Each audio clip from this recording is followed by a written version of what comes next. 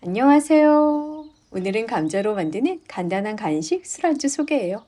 바삭하고 고소해서 감자 튀김보다 더 맛있는데요. 허브와 마늘 향을 입은 감자구이와 산뜻한 그릭 요거트 소스 같이 만들어 봐요. 한의사의 건강한 식탁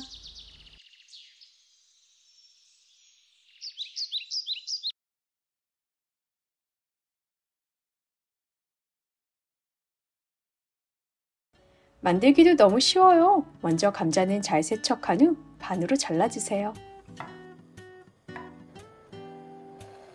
찜기에 올리고 강한 불에서 끓여주세요. 물이 끓기 시작하면 중간 불로 줄이고 20분 정도 익혀주세요. 감자가 6월 제철을 맞아서 너무 맛있는데요. 이맘때 감자는 특히나 영양이 풍부해요. 땅속의 사과라고 불릴 만큼 비타민C와 B1이 풍부해서 면역력 증진, 피로 회복, 그리고 피부 미용에도 좋아요. 20분이 지났어요. 감자가 거의 다 익었는데요. 약한 불로 줄이고 5분에서 10분 정도 뜸을 들여주세요. 감자가 부드럽게 익었어요. 종이 호일 위에 올려주시고요. 도구를 사용해서 납작하게 눌러주세요.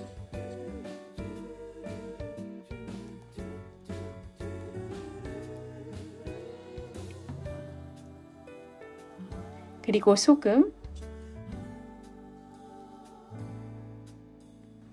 올리브오일, 말린 허브 믹스를 고루 뿌려주시고요.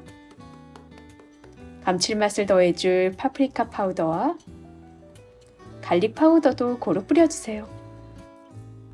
오븐에 구워도 되고요. 오늘은 에어프라이어를 사용했어요. 180도씨에서 10분 정도 구워주세요. 그 사이 함께 먹으면 좋은 Greek 요거트 소스를 만들어 볼게요. 향이 좋은 딜 또는 처빌은 줄기를 제거하고 잎부분만 총총 썰어주세요. 레몬은 즙을 내주세요. Greek 요거트에 레몬즙,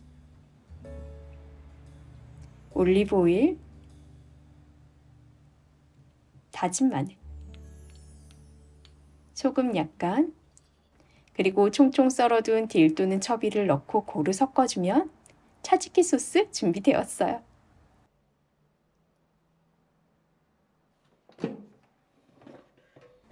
음, 감자가 노릇하게 익었어요. 너무 맛있어 보이죠?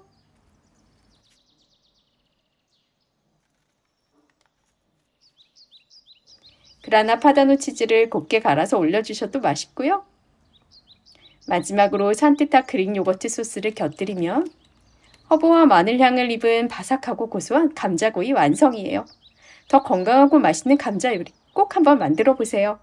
오늘 정보가 도움이 되셨다면 구독과 좋아요 부탁드리고요. 방해가 되지 않으시면 알림 설정도 부탁드려요. 오늘도 함께 해주셔서 감사합니다. 행복한 하루 되세요.